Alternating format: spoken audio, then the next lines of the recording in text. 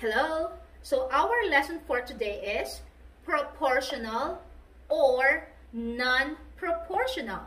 So in this lesson, you will be doing two things. The first one is you are going to tell whether the given graph, table, or situation represents proportional relationship or not.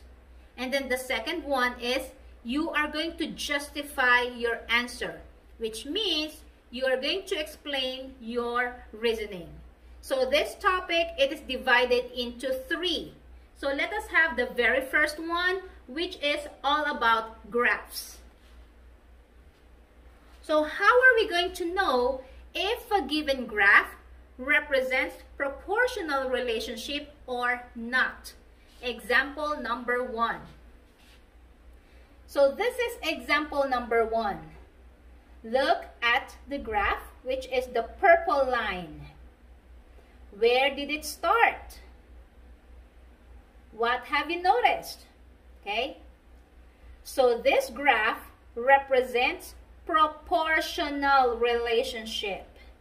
Now, how did I know? Because first, it is a straight line. Okay, it is a straight line. Second, it passes through the origin, which means it started at point zero zero. Okay? So that means this graph is proportional. Now, if it is proportional, what is the unit rate? So when we say unit rate, that is the ordered pair wherein x is 1. So look at your x. So this is your x-axis. This is 1. Go up and check the point. The point is here. And the given ordered pair is 1, 3. Therefore, our unit rate is, what is this 3? That's 3 miles. And then 1 is your leg. So for 3 miles, that is per leg or over one link. So again, this graph is proportional because first, it is a straight line. Second, it passes or it starts with the origin. Okay? Next, let's have example number two.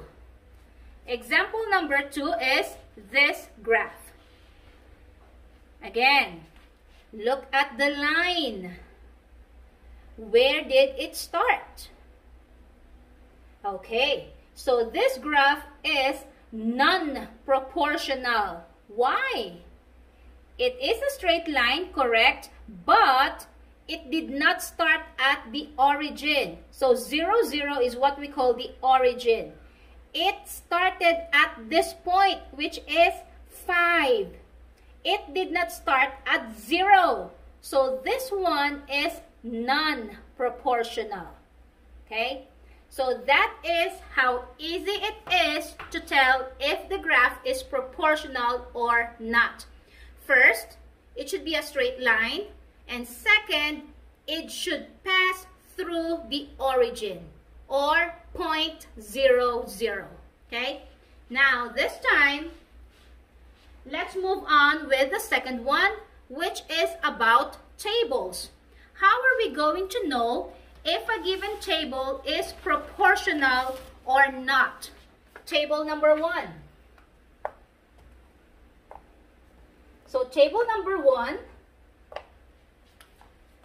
is a representation of the relationship between the number of pizzas and total cost. Now, for two pizzas, that is equivalent to $12. For four is 24. Six is 36. Eight is 48. The question is, proportional or non-proportional? So the answer is proportional. So this table represents a proportional relationship. How did I know? Look at every row check if you have the same constant of change or rate of change. So we have 12 divided by 2 is 6. 24 divided by 4 is 6.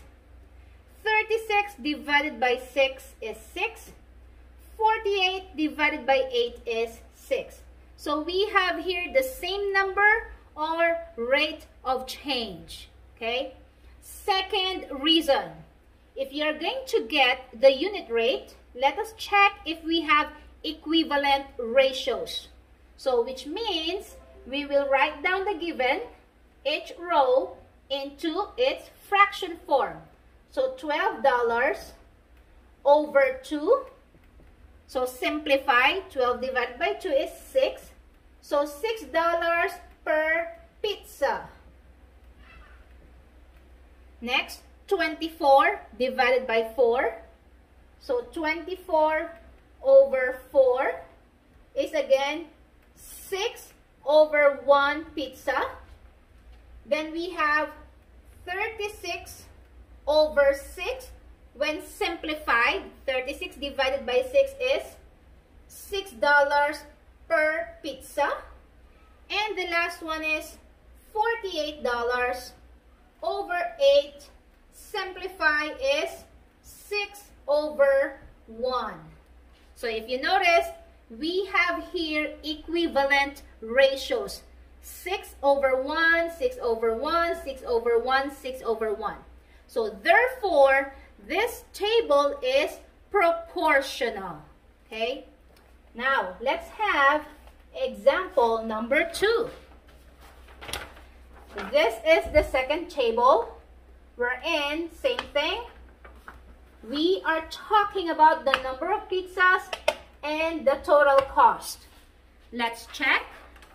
If this table represents proportional relationship or not. Look at each row. 10 divided by 1 is 10. 20 divided by 2 is 10. 28 divided by 3 is not 10. It's 8.33. 36 divided by 4 again is not 10 because this is 9. So if you notice, we have different rate of change. So that means this table is non-proportional. Which means it doesn't represent proportional relationship. Okay, so this table is non-proportional. This time, let's move on with the third one, which is all about word problems or situations. How are we going to know if a given situation represents proportional relationship or not? Let's have example number one. The problem is Lloyd packs 12 boxes per hour. How many boxes can he pack in 3 hours? Again, the given is 12 boxes per hour. So that is the given unit rate. And it doesn't say anything aside from the unit rate. So therefore, boxes. So therefore, this is proportional because the unit rate is given already and there is no initial value, which means when we were asked how many boxes can he pack in three hours, no other number, no initial number of boxes was given. He started from zero box. Okay, he started from zero box. That's why example number one is proportional. Now let's see a non-proportional problem. Number two. So the given is Yami is filling up a container at 5 gallons per minute. If the container already has 7 gallons when he started, how long will it take to fill it out if it can hold 47 gallons? Again, the given unit rate is 5 gallons per minute. And there is another important number there, which is 7 gallons. So this is the initial value, which means when he started, there is already 7 gallons of water in the container. So, since we have the initial value, he did not start at 0. Therefore, this given is non-proportional.